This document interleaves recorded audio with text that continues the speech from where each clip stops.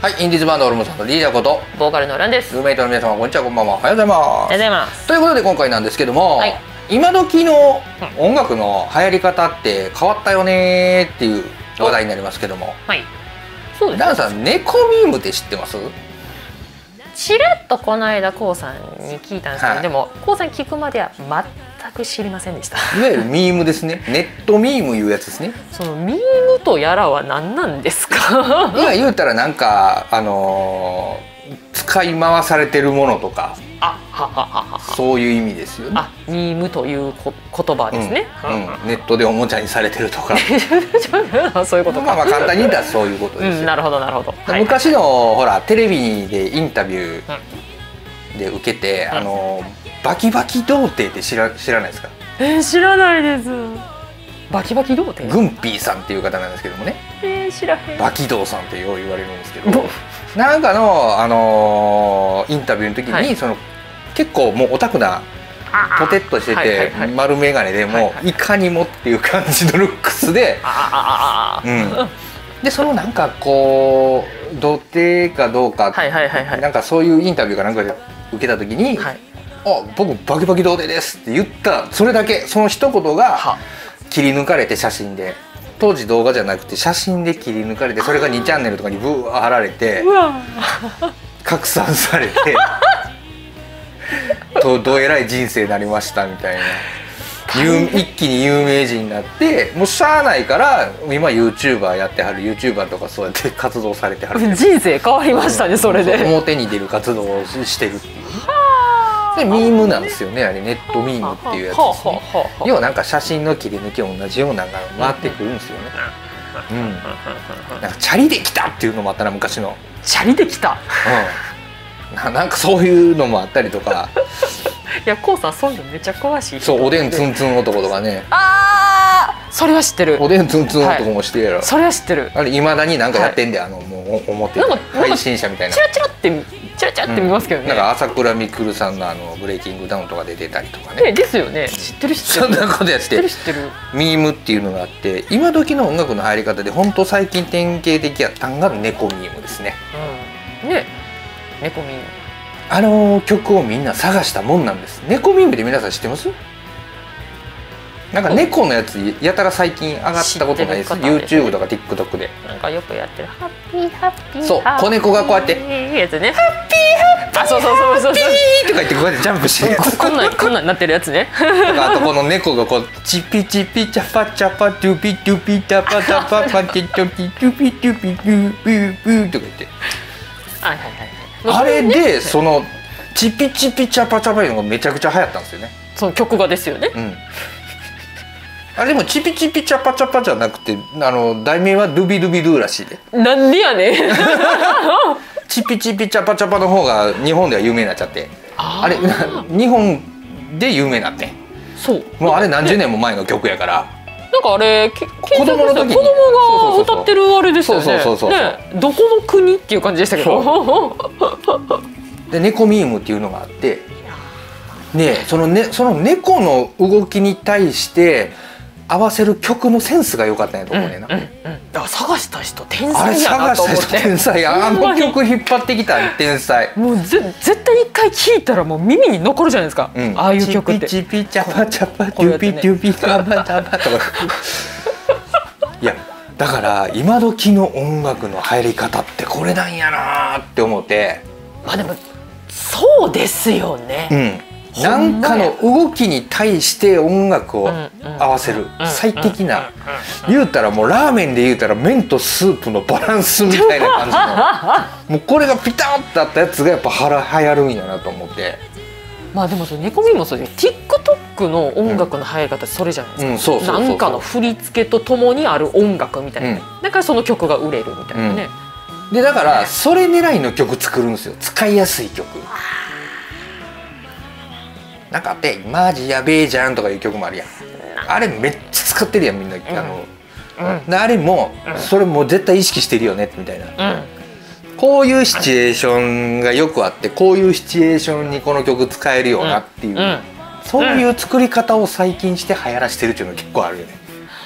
特にアイドルグループの作る曲が、もうそれ前提で作ってんなっていうのがすっげえわかります、うん。すっげえわかりますはい、サビのところとかこう入る時は絶対もう使いやすいようにしてる。そう。ショート動画で、うん、なんでなんかこうあ聞いたことあるで認知してなんかそれがずっとあちこちで聞くんでいつの間にかあれ好きかもしれへんってなるんですよ。そうそうそうそうそうそう。そう。最初はちょっと違和感があったとしてもですよ、うん、ねあこれあ洗脳されてるって私ちょっとふと我に返る時あるんですよ、うん、うん、一回それであの曲買ったことあるんで。ダウンロードで。俺でもチピチピチャパチャパはずっと聞いてたな。チピチピチャパチャパ。あれで流行りだしてからの Spotify とかにも上がるようになったからな。はあ、うん。本人もびっくりらしいよ。なんで日本でこの曲が流行ですよるのねでもよう見つけたなって思いますうね、ん、でもそういう曲の流行り方するんよな。ねこれでもさ今思ったらさ、あのショート動画とかもし作られてる方いるんやったら例えばさここの人の曲流行らしたいなっていう時は入れたら面白いかもしれないね。逆にね。うん、俺 西城秀樹さんとか結構それにハマるんちゃうと思って。ああの、ね。結構その決めのある歌とかもあるやん、あうんうんうん、うん、トシちゃんとかもそうやけど。そうですね。決めのある歌ってなんかそのショート動画のと特定のシチュエーションにめっちゃ合わせやすいよ合わせやすいですよね、うん確かに。ほう。ほうでですね。それをこう猫ミームじゃないけどい犬ミームでもいいけど あの犬ミーム？なんかそういうのにこう合わせると再びこう世に知らしめることできんじゃねと俺は思うんですけど。トレンドはもう自ら作るみたいな感じですよね、だって俺自分でもなんかそういう曲作ろうかなと思うもんね。なんか。もうあもうあくまでそのショート狙いで。はいはいはいはいまあでもそうですよね。うちも作りますか？うちも作るなんか。チピチピみたいなこんなこんな感じの俺ねね結構ここでちょっと言えないんですけど案は実はあるんですよ。あるんですか？後ランさんにこっそり言いますけども。だただでもそれそのシェアがそんな広ないからちょっとあれかなと思いつつのがうん。実は一個案があってははは。これやったら絶対おもろいなっていうのがあんねんけど。ねでもこれルームさんでやりたくないっていうのがあるんですよ。俺らが俺らとしてやりたくないなこれっていう、まあ案はあるけれどもう絶対ヒッねトしそうやけどなというのがあんねんけど、うん。あなんねんけどね。まあそういうのもある。でも最近はそういう流行り方なんですよね。ショート動画でよくそうやってあーのインパクトのあるメロディー。メロディーとやっぱりこの繰り返しやな。そうそうチピチピとかチャパチャパとかうん。ね、ああいうなんか繰り返しなんか妙に耳につくやつね。うん。がやっぱ流行っていくんやなって、ほんでやっぱりそうやって作っていってるアーティストも多いなっていううん。ね、うん。うん。星野源さんとかはあれなんか自分の自分で解放して流行ったもんなあれコロナの時にね。あそうですそうですそうです。うん。まあ、あの方もまあすごい賢い方やなって思いますけどね星野源さんもうね、ん。だからそのえでも私この間たまたまですけどテレビで、うん。あの音楽番組を見たんですよ。これきっかけがあのまあ「オールナイト関西」っていうまあプレミア公開の番組あるじゃないですか、うん。うん。あれで今のなんかこのまあ若いってか今時のミュージシャンの活動ってどういう内容なんですかって質問があって音楽番組最近見ませんよねみたいな感じでうん。あったんで、まあ、たまたまなんかそのテレビつけたやってたんでまあ見てたんですよ。うん出てるアーティストの、まあ、半分まではいかないですけど34割がやっぱりなんか TikTok でうん。何億回再生のアーティストですっていう 紹介のされ方のアーティストがまあ多くて。結局その猫ミームでのその売り方と似てるじゃないですかショート動画で。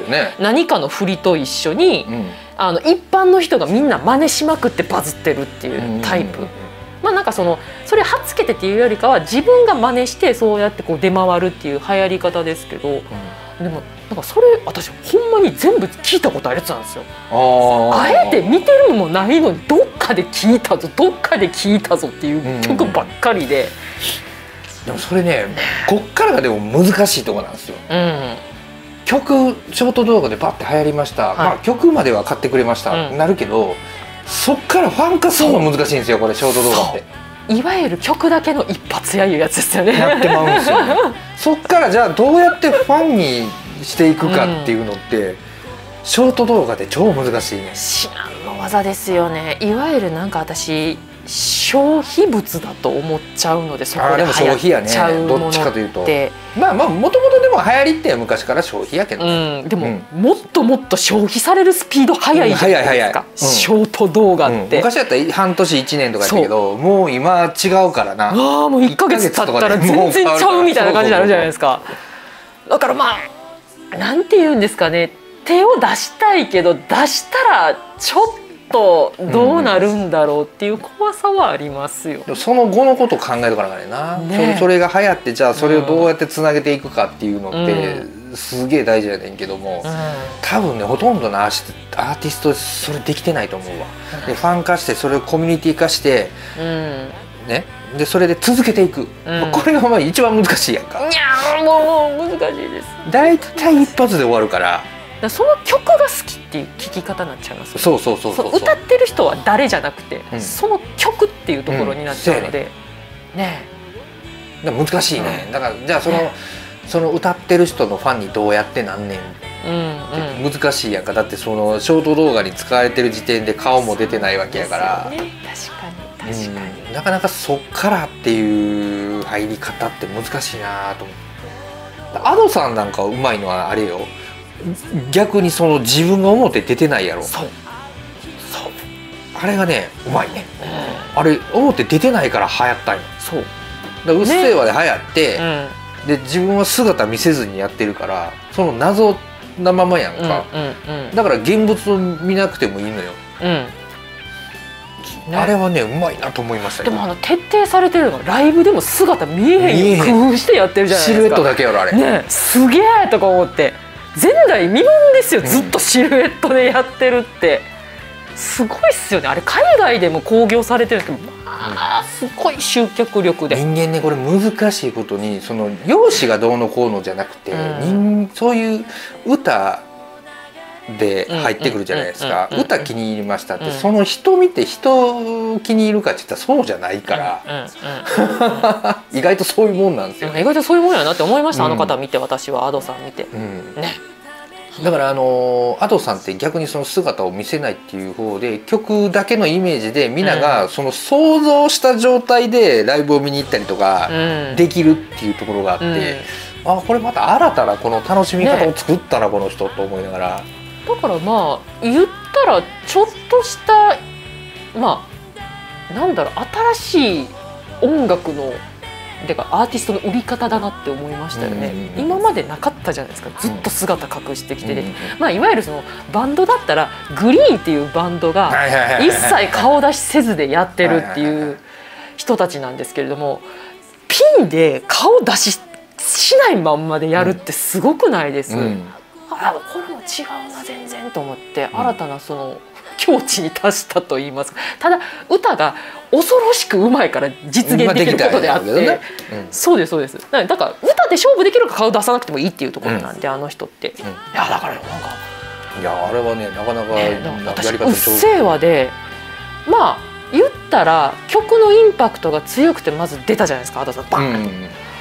これだけで終わるんかなこの方。と思って見て見てました、うん、うん、でもまあ終わらんかったですよね。終わらんかったというかねあの方はもういろんな歌歌えるから、うん、なんか曲出すたんびに驚きなんですよ。こんな歌も歌えんのみたいな。違うもん出してくるからあれがすごいところやな。すごいですね。同じもんじゃないのよな。ほぼ全ジャンル歌えるんじゃねえのかっていうぐらいに、うん、そこがうまいかなと思うまあでも最近昔と違ってさ、うん、昔はさ昭和の頃言ったらもう言ったらテレビラジオしかないわけやから、うん、テレテレビラジオでどんだけ鳴らすか、うん、あと有線にどんだけ入るか。そうです、ね、昔は有線放送ってあったですからね。ありましたね。今はもうほとんどお店まあ昔もお店やったけど今店でもあんま有線入れてるとこってちょっと減ってきたかなと思う。